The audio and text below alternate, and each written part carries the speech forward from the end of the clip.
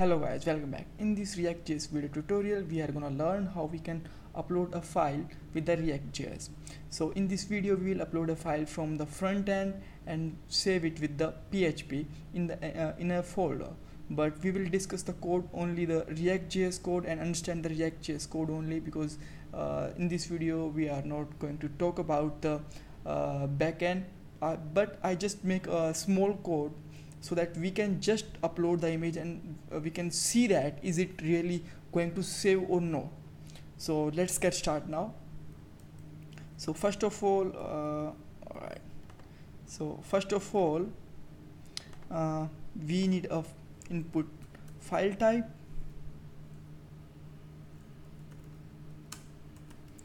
Type equal to file.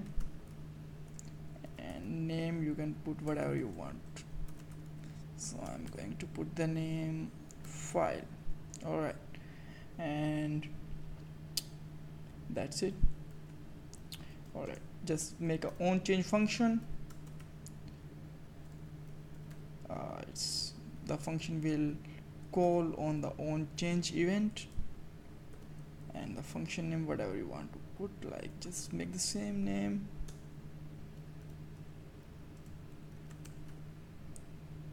change. Whatever you want to put that it's not a issue. So just pass the data from here to this function like e. Alright so now make a function here. So let's see is it uh, on change? Alright so I have to make this dot on change and now make a on change function here. Alright so just take the data from here like e. So let's take a variable name like file or files whatever you want. Okay, so just store the uh, image information here e dot target dot files. Alright. So now just console this data for now. And we will proceed soon. So mm, data file. Let's check it. Is is this code working or not for now alright so just try it. yes this code is code is working. We got the information in the console. So let's continue with the another uh, code again.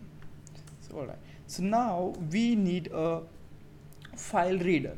So what is exactly do the file reader? This is the uh, we can say that a class of uh, javascript which will be read the data from our memory we can say that up from our computer and save it temporarily. So let's take it uh, reader. Mm-hmm. all right and right here new file reader. All right and after that we have to uh, start the reading of this function. So like here. Reader dot read as data url that means it will start the uh, it will start the file reading. So our file will be placed on the zeroth array. All right so this is also fine. So now we we have to check that is it file is loaded or not. So if you want to uh, go with the deep with, with this uh, class you can watch uh, in the uh, Mozilla Firefox uh, official website. So here you can see that what what is file uh, file reading is going to do and the all operations are, are here. You can see that the file readers or, or everything is here. So let's back to the tutorial. Oops. Alright so now we save it uh, so now we need to check that is this file is loaded or not. Check is ran uh, reader dot on load it will continuously check that if your file is to load whenever uh, your file is loaded it handle the event and do the specific operation that we have to do. You can pass the parameter here with uh, any keyword. Oops.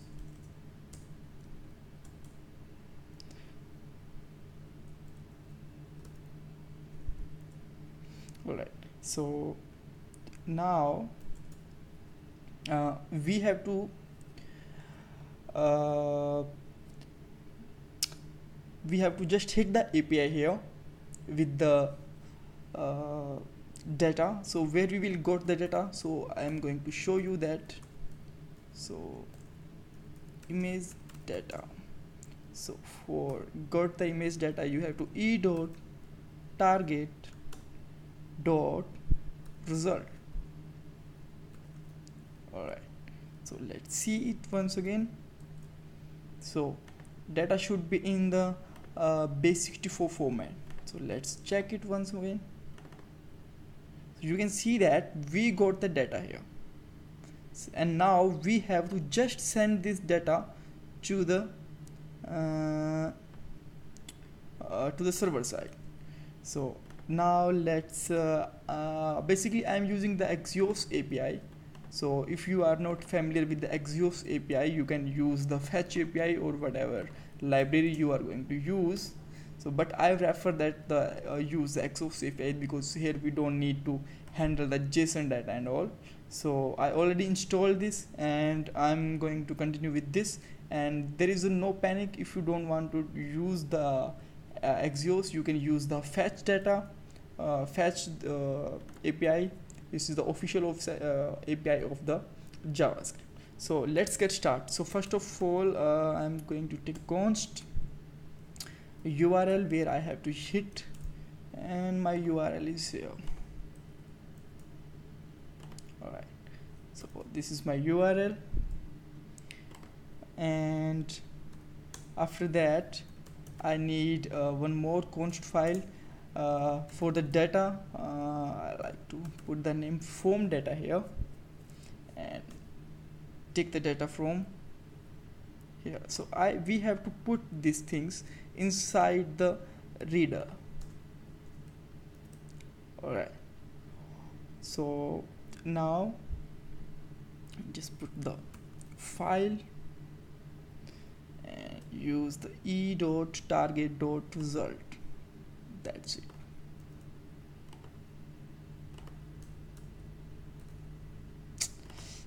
that's my bad. Alright so now we got the data in the variable also. So now data is we have the URL and both thing. Now we just need to return take the post function of the Axios API uh, API which is a post function for post request. So just put the two parameter here. First parameter is URL and second parameter is the form data. Alright and now you can use dot then and take that response. Mm, I think capital response is a keyword. Use a small one alright so just console here. Console dot one. Result comma response. So let's check it once again. Is it uh, fine code?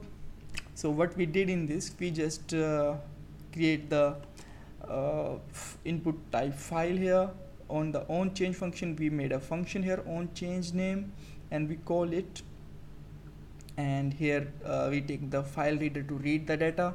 With the read as a data URL we start the reading the data and in the reader dot on load it will check that if data is loaded or not. If the data is loaded the it will perform the internal function that we can uh, write the inside the code here so I can remove this line here.